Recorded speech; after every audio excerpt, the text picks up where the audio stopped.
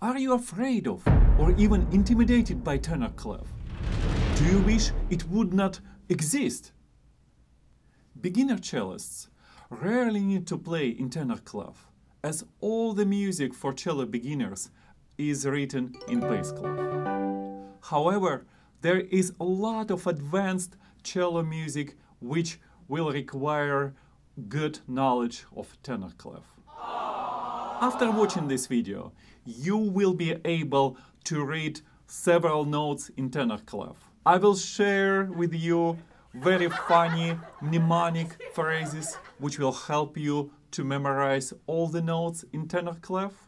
And I will introduce you to a very clever way to figure out many notes in tenor clef without even thinking about their names. Stay with me and we will learn something new. Welcome to Cellopedia, this is Maxim. Why do cello composers use tenor clef?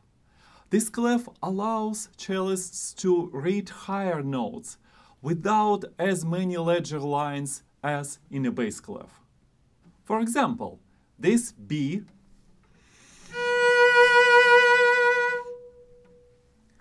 would need four ledger lines in the bass clef.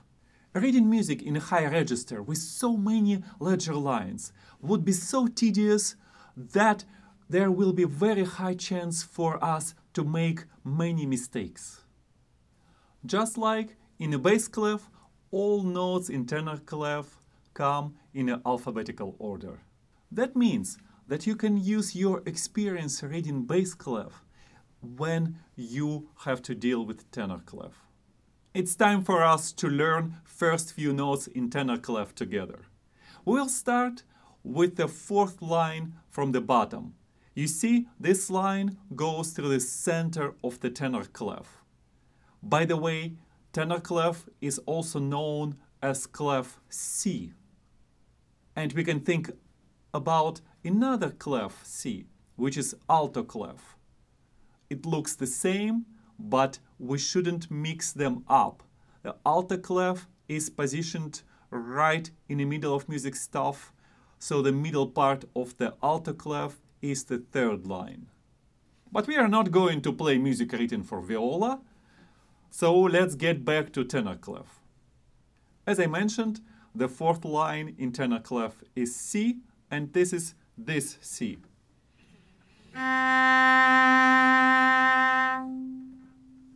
Of course, you can also play it in the fourth position on the D string.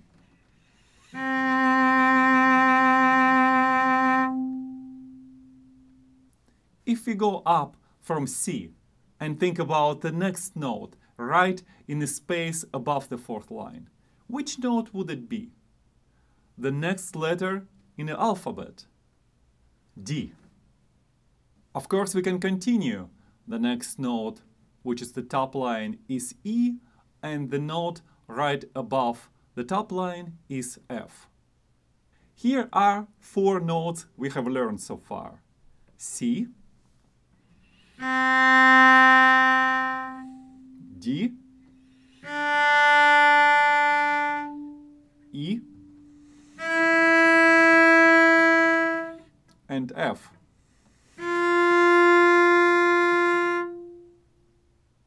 And of course, we should go the opposite direction.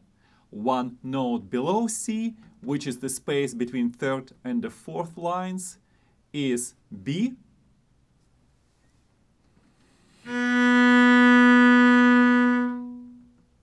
Then the middle line will be A.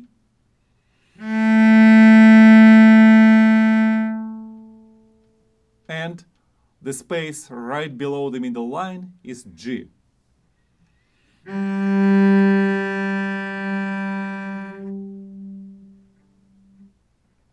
Let's play those four notes one after another. C,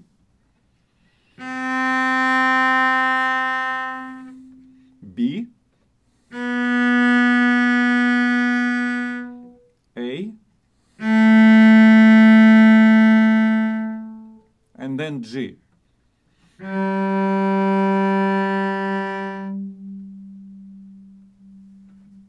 You see, it took us less than two minutes to learn seven different notes in tenor clef. To make learning all those notes a bit easier and maybe to have even more fun doing that, I will share with you two phrases. First phrase, mnemonic phrase, we will use to remember all the notes in spaces. And this phrase is eat good breakfast daily. This way we have E, G, B, and D. And the second phrase, which I just came up to help you to remember all the notes placed on the lines, starting from the bottom line, is don't forget about cello exercises, which will help us to remember D, F, A, C, and E. Now you will just have to remember to eat good breakfast daily and don't forget about cello exercises. And you will never have any problems reading in tenor clef. And now it's time for me to share a little secret with you. Very quick way to figure out the name of the note in tenor clef, no matter how high or low that note is. And there is the only one condition for success in using this method. You need to know all the notes in the bass clef really well. Let's say you see this note and you completely blanked out. You forgot how tenor clef works. What would be this note in the bass clef? F. To figure out which note would that be in tenor clef, you just need to move your finger one string up. And that would make this note. And this is C, the note you will have to play. Another example, this note, the bottom line. You know, this is G in a bass clef. And you can think about the next string up. To play G, you wouldn't need to use fingers, so you just think about the next string up, which is D. And this is the note you would play to read it in tenor clef.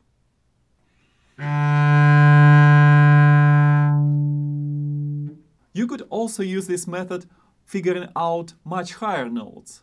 Just remember, it will not give you exact octave, but it will always give you the name of the note. For instance, you see this note, which would be G in a bass clef.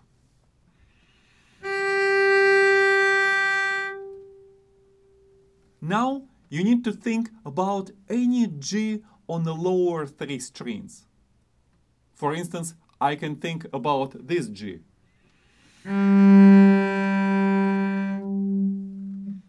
And if I just move my finger one string up, I will get D.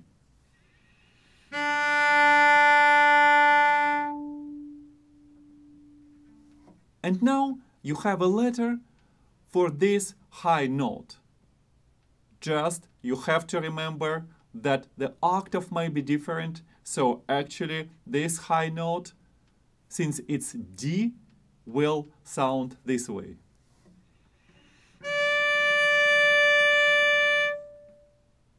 Try to play around with this method. Sometimes it will be practical for you to use, sometimes not. But the more tricks you know how to use, the better off you will be. By the way, why does it work this way? Well, the distance between the notes in a bass clef and tenor clef is a perfect fifth. And moving the note from string to string works the same way as transitioning from the bass clef to the tenor clef. As always, all theoretical knowledge you got from books or even videos is worth very little until you put it in action. Don't wait too long. Open your book and start playing in tenor clef. Every day it will be easier and easier for you to do.